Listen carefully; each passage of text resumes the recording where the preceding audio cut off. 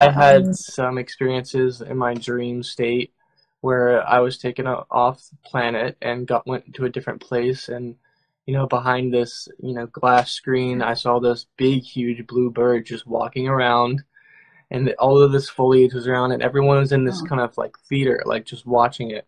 It was funny and uh, there the, these other blue avians were watching it with me but they were higher dimensional so i didn't really notice them as much at the time but we were looking at this more uh, bird being it was more fourth dimensional just like a massive bird basically kind of standing a little bit more upright and just walking around and everyone was observing it and then it just kind of looked at me and I looked at it and and we just kind of recognized each other. it was a huge feeling of remembrance. All this energy came flooding in, and then I woke up, or I came, they took me back to my body real quick, and then I woke up. So I thought that was like, really cool. And then obviously I got more confirmation later on through meditation. I would see bird beings when I would meditate about one of my friends that he had bird lifetimes. So I would I didn't know that at the time, but I was meditating and then I was like sending him some light.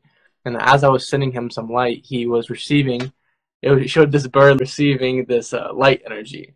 Wow, holy, that is crazy. The light. And you're like my friend has been a bird being at this point is